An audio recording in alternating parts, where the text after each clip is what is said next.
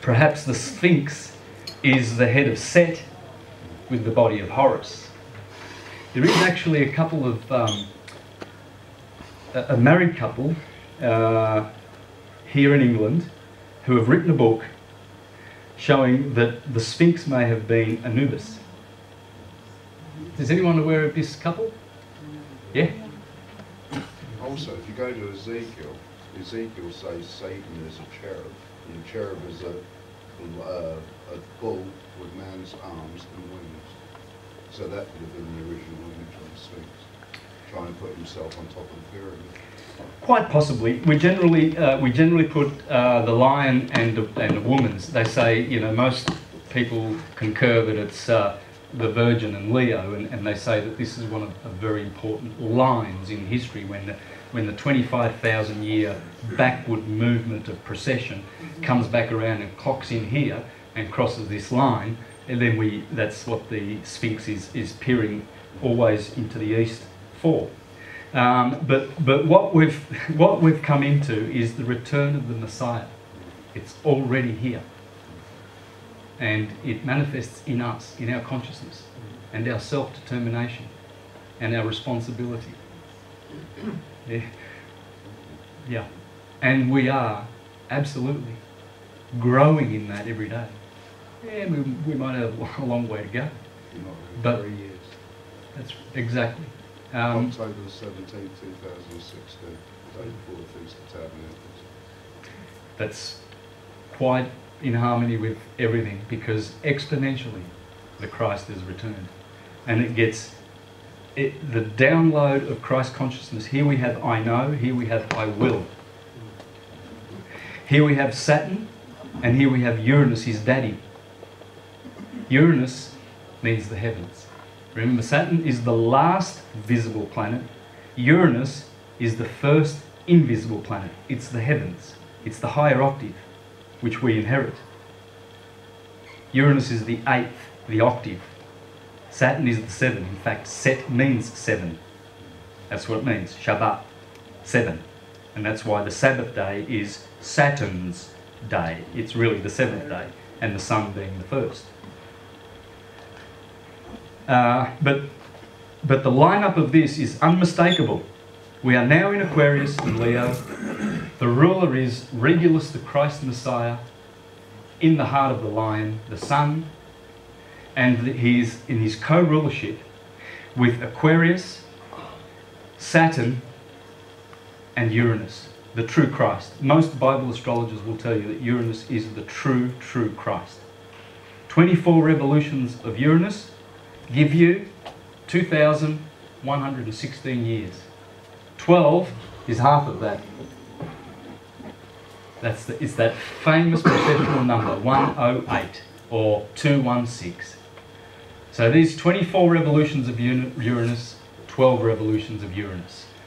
In the scriptures, it always talks about a thousand years, and the devil will be bound for a thousand years, and a day with man is as a thousand years with God, and, and they will rule with Michael as priests and kings for a thousand years.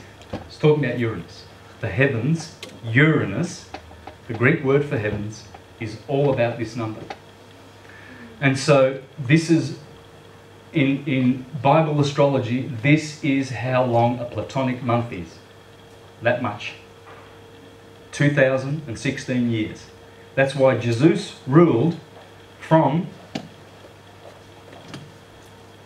Look at the scriptures. Jesus was born at 4 BCE.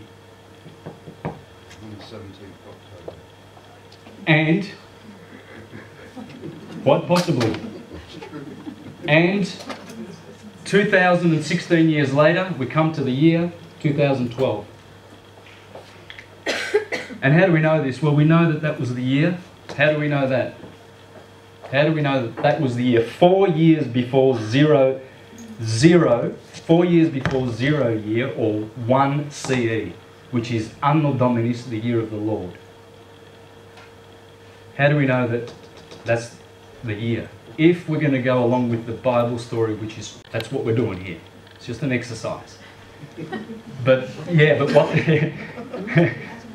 We're not buying into the, the Ponzi scheme of Jesus, the vicarious saviour. Yeah, just wait, he's coming. In the meantime, uh, you know, the Vatican's uh, going to sodomise us in, in, the Inquisition for another thousand years. I'm not a Catholic, so don't worry. Sorry? I'm not a Catholic. Yeah. I'm a street follower. Yeah, I, I figured, don't worry. Um, so, so Uranus, this is the thing that we're getting at. Uranus is the Christ. Any Bible astrologer will tell you that. Have a look at Ludwig B. Larson, John H. Annis, Karl Anderson, K, Carl with a K, uh, George E. Stowe, Stowe with an E on the end of it. That's, that's probably the four best Bible astrologers you will ever read, and you'll understand all this. So, going back to this, before we move on, we're going to try and do a little bit of. Uh, we're going to we're going to see where all all of the zodiac really comes from after this. Okay, so here we have. So we start here in January. Okay, we'll go along with this Pegasus. This is for the camera because you guys will, won't see this. Should I put it in the in here on the um, on there for the camera? Okay. Pegasus, first one on the ecliptic. Andromeda in Pisces. Pegasus was in Aquarius. The river of night, Eridanus. That is equivalent to the, um, the ventricular system in, in the cranium. That's what it is. Perseus in Aries, the light bringer, slays Medusa, the starlit night. Every morning when he comes up, there he is, Perseus, in Aries, and he slays the starlit night. Uh, Perseus. Orion corresponds with the uh, optic thalamus in Taurus, in the head, in the cranium. The charioteer, Auriga. The dogs. The ship and the Argonauts. Canopus, the beautiful star, the second brightest star in the sky, second to Sirius, not far away either. The dragon of the north. These are all on the, along the ecliptic. These are 22 constellations, extra zodiacal. The Great Bear, beautiful. If you look toward the south tonight, you'll see this red star, Arcturus, in the bear, Boötes. Oh no, hang on, that's, no, sorry. Um, You follow, That you next one. follow the tail round, and then you come quite a bit to Yes. Arcturus. yes, you do. It's not far from here. That's, sorry, this is um, the bark of Ra, the Big Dipper, the Great Bear in Cancer. So we're still, we're still at Cancer. Uh, the sea serpent. The crater. This is the cup that we drink from. Uh, we'll, we'll go back and do a little astrotheological lesson about this in a minute. The raven, also in Leo. The, there's the bear, Arcturus. The red star, one of four red stars in the sky along the ecliptic. Uh, sorry, no, that's in the northern stars. Uh, Corona Borealis, Corona. Crown of the north wind. That's in Libra, where the sun sets, because this is the crown that the sun wears. The Christ, the crown of thorns every day in Libra where the sun sets. And next door is Lupus, the wolf, the wolf of night, the victim, Jesus being the victim, and the other constellation is the cross, the Southern Cross. That's where Jesus gets crucified with his crown of thorns. The serpent, that's the serpent's head is right next to Libra. This is the serpent that te- tempts Virgo, just above Libra, the head, serpent's caput, is right next to the scales. The scales are the tree of the knowledge of good and evil. This is kindergarten stuff, isn't it? You know, it's just so ridiculously obvious, and yet people are going to church. And there was an Eve who ate a fruit, and, and she sold us all into sin, and all of that happened in the historical linear line from the left brain, which is totally disconnected from cause.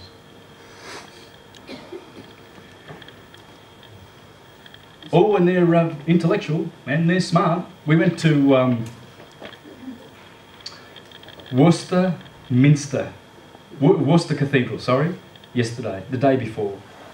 Yeah, and uh, who was that? That's the guy who took me around to see, uh. Yeah, the Black Country. Uh, and uh, we were noticing the people there. Uh, the, the bishop was there, and he had a few priests around, and yeah, and there were some women there that were there serving also. I don't know what role deacons. What are they allowed to be? Anyway, we noticed. We clearly, the three of us noticed, and John Paul was there. Was that you that was with? No, it wasn't you. No, it was uh, Chris. Yeah, the three of us noticed that they sounded very carefully articulate and intellectual. oh, Jesus! When they talk about Jesus, they're so articulate. You know, it's all here in the left brain. It's all the false spirituality. It's only the baptism of the psychic waters that they've been baptized in. It's four baptisms. They get to miss out on the spirit and the fire because they're stuck in the water in the left brain.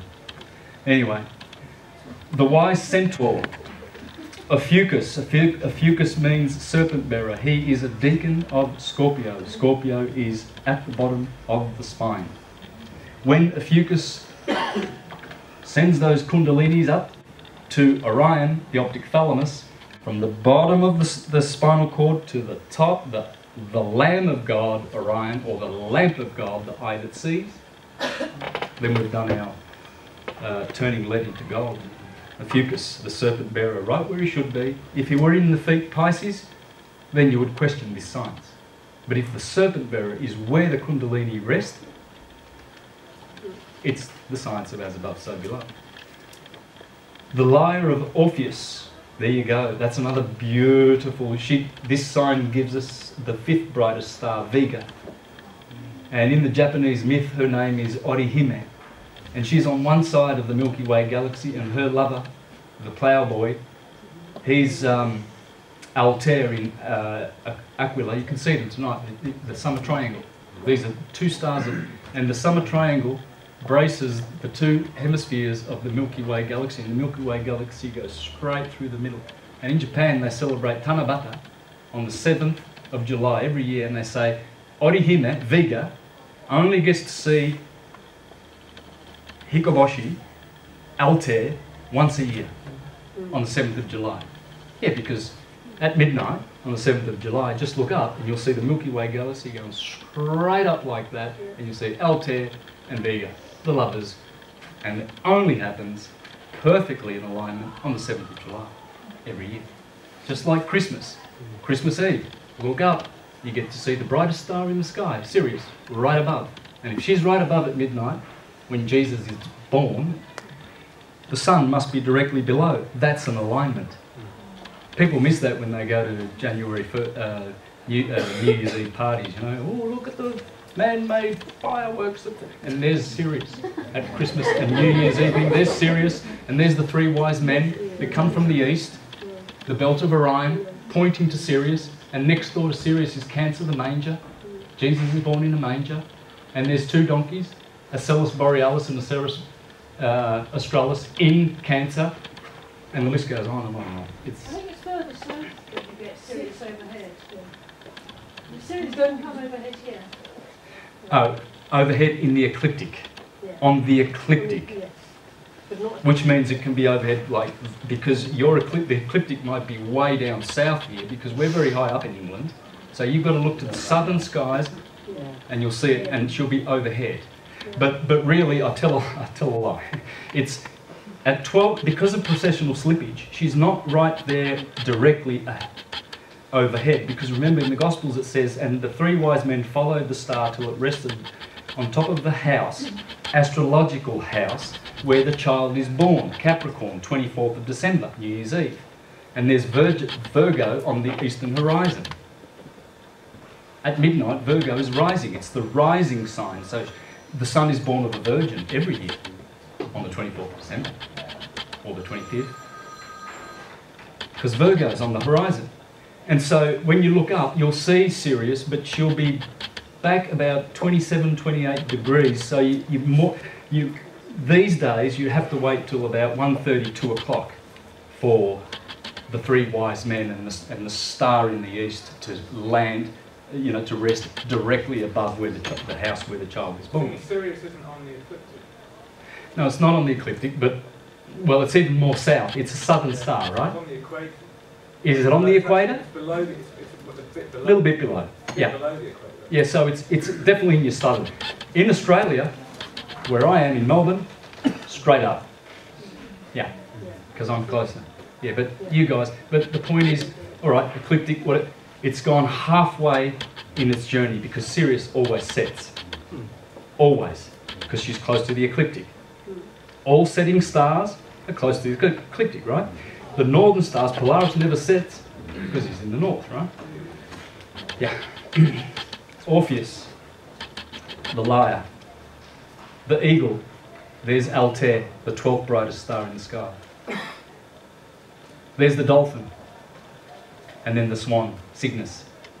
Deneb is one of the three stars, including Vega and Altair, that make the summer triangle. It's beautiful.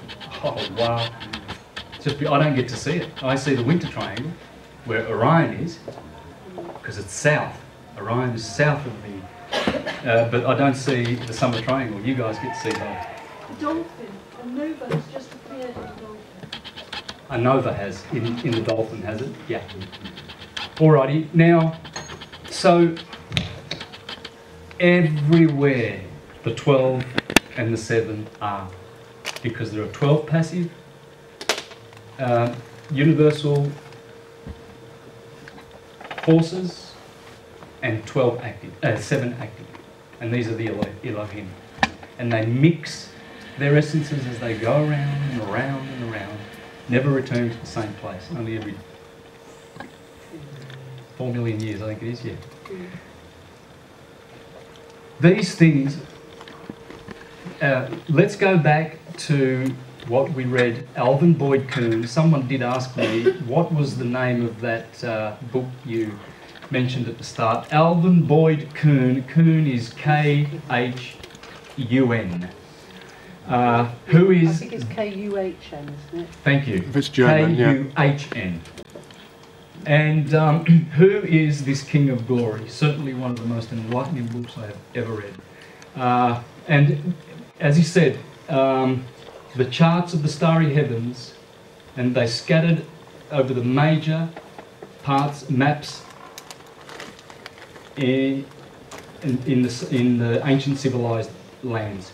Uh, the Gnostics truly declared that all the supernatural transactions asserted in the Gospels were counterparts or representations of what took place above. Uh,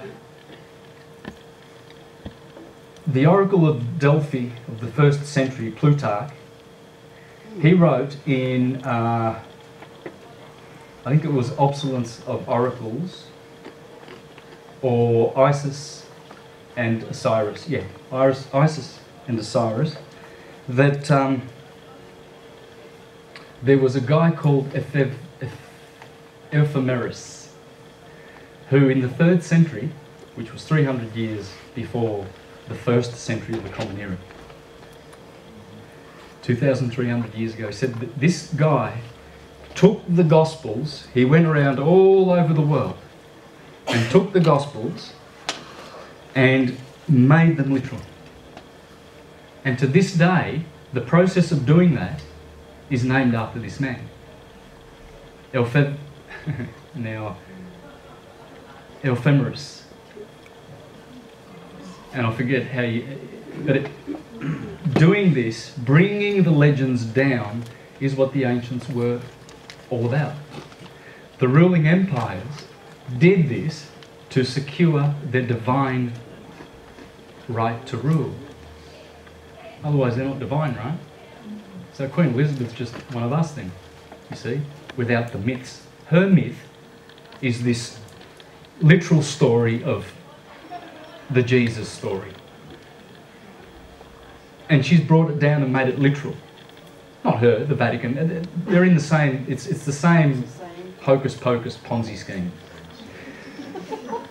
to, to blind us from the true light, the true light of what we are and who we are.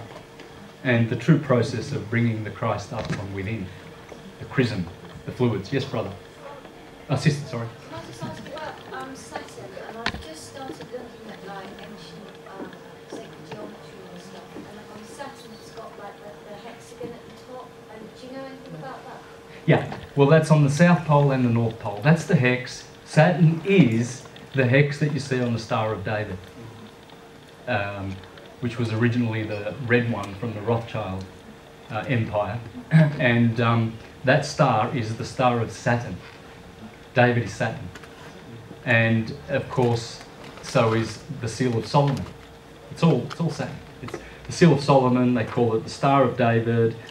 Um, there's there's many names for this, but this is why they advertise it on their flag, the Israeli flag, because they're telling you that the new Jesus is over. You see, when the Pope retired on the 11th of February, that was the Jupiterian Pope. The Jesuit Pope is Saturnian. Jupiter's out, Pisces is gone, Aquarius is in, the ruler of Aquarius is Saturn. They wear black, the Jesuits work for Saturn. Satan, absolutely. They are Saturnian. And when the Pope retired at 12 o'clock midday on the 11th of February, exactly 71 days to the day that Mussolini signed the Concordat with the Vatican, to the day 11th of February, six hours late, later, the lightning from who struck the Vatican? Who sends lightning? No, Zeus. Jesus. The ruler of Pisces. Jupiter Zeus. He's got the, the thunder. So, Popey Poo's down below, who said, I can't continue my Petrine ministry anymore. Petrine would be Peter, Jupiter, the rock. Petra means rock. And Petrine, he clearly said that to the BBC. I cannot continue to go on to words to that effect in the Petrine ministry. And he retired. And then you get this amazing historical thunderbolt on the same day from Zeus. And then three weeks later, the Saturnians come in. And they're advertising it with the Star of David, same club. Same club of pimps. Yeah. Yep, and they've got a farm of slaves and they pimp out agents to make sure that we all pay them.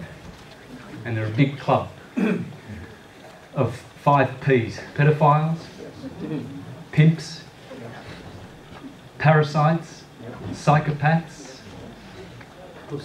Politicians. Yeah, but we shall not dwell on that negativity. We have so many beautiful things to contemplate. So, this science is everywhere. Well, would it be perhaps in the Bible? Yes, it has. I've done many presentations uncovering this science of the 12 and the 7. Uh, the Quran? Well, let's have a look at the Quran, shall we? And see if they know anything about the 7 and the 12. Here we have Quran, Surah 25. This is the website you can go to. This is one of their most famous Quran concordances. God exalted be He says, Blessed, magnified is He who has placed in the heaven constellations, 12 of them Aries, Taurus, Gemini, Cancer, Leo, Virgo, Al Sanbula, Libra, Scorpio, Sagittarius, Capricorn, Aquarius, and Pisces. They are the mansion for the seven orbiting planets. This is Quran, because Quran is nothing but science, friends. Science is religion, religion is science. It's all syncretism. It's all one. All of them merge in the middle. I say something about that? Sorry. Sorry? Um, that, the reason that that, that exists in because, because Western astrology was basically exported to the Arab lands um, after it was banished from Christendom. So And then they brought it back? Astrology was basically kept safe in the Arab lands before it came back more or less at the time of the Crusade. Absolutely. They, for, for several hundred years, astrology was an official science in Islam. Only recent, recently, when the, uh, when the fascist Islamic um, royal families took over Islam, I'm talking about the oil, the oil criminals here. uh, that are really, really destroying this planet. Tho- those are the ones who are behind the militant Islamic, just like the Christian killers. They've shed enough blood. We don't have to go down that, that track. There's millions of lives that have been shed at the hands of so-called Christians. A lot of Christians have the vote. So-called. Because you can't kill if you're a true Christian. We are true Christians. Chris- Christianity means the light, consciousness, the sun. Yeah, depending on what level you want to see it at. There's seven levels. Astrologically, Jesus Christ is the sun. Astrotheologically, Jesus Christ is the sun. Theologically, Jesus Christ is the sun, S-U-N, S-O-N. Um, biochemically, it's the chrism. The oil is produced in the, in the cloister, the claustrum, the holy claustrum, the Santa Claus. Yeah, and that oil gets differentiated at the pineal gland, Mary, and the uh, Joseph, and the pituitary gland, Mary. They descend as they're differentiated into a negative and a positive, down the pingala, down the ida, down to the sacrum, and from there, the oil rises. The oil, the bread, the manna, the chrism, the soma, the fish, the salt, the wax. Wax because it comes from the cerebrum. Ceres is wax. That's the Christ. That's the true story. Biochemically, we are an alchemical laboratory just waiting to experience a metamorphosis. Or should we say apotheosis? Because humans apotheosize, animals metamorphosize. So we're about to get our wings, if we haven't already got them. Transformation. Yeah. Apotheosis in Greek means from God to God. Apotheos. And that's that's what we are experiencing. This is what's going on. Do we get the word sincerely from that as well? Yes, we do. Sincere. Back in good old Rome, and I went to Rome and I saw a lot of marble statues past the Milvian Bridge. When you pass the breathtaking, uh, ostentatious Milvian Bridge where all that history happened, and you see those big marble eagles, and you wonder who the hell sculpted those, and then there's another one. There's eagles and columns of marble on that bridge. You know something big's happening in Rome. You can't be prepared for Rome. But in Rome, they used to make marble wax, uh, marble sculptures. Sculptures. Our sister asked us about the word sincere. Sin means without. Cere means wax.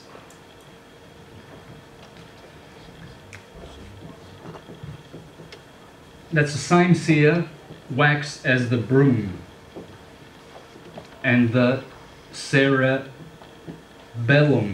Aries, Taurus.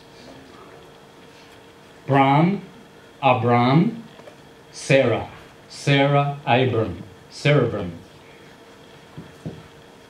Sarah, again, who is Isis. There is Ra, and the bellum is El. That's Isis. That's why the Romans, every year on the 15th of April, Aries, celebrated cerealia. We get the word cereals still. It's all astrotheology, all of it. So when they made a sculpture and they got to the very end and just finished the eyebrow and polished it, no cracks, it was without wax. But halfway through, a crack appeared, but it was a good, very expensive piece of marble. They wanted to get some money for it, so they plugged those cracks with wax and got a, a lower price for them. So shop, shoppers didn't have a lot of money, would buy the ones with wax. They were with wax, con chere. But these are sincere, without wax. So they're honest, they're not deceptive, they're true, original, uncracked. And so this wax, that's, that's where it, that's the land flowing with milk and honey, where Sarah and Abram come from. The honey is produced by the pineal gland, and the milk is produced by Mary, the pituitary gland. That's the, the land flowing, it's in the head, heaven heaved up. Heel is for hell, head is for heaven, you see. So when we return that Christ, and how we do that is by looking after baby Jesus that gets born every month in Bethlehem. Bethlehem's Virgo, the third chakra, the solar plexus. And when the moon transits our sun sign, so for all you Leos, for example, when the Moon is. Oh, let's pick on Aquarius because tonight is Aquarius.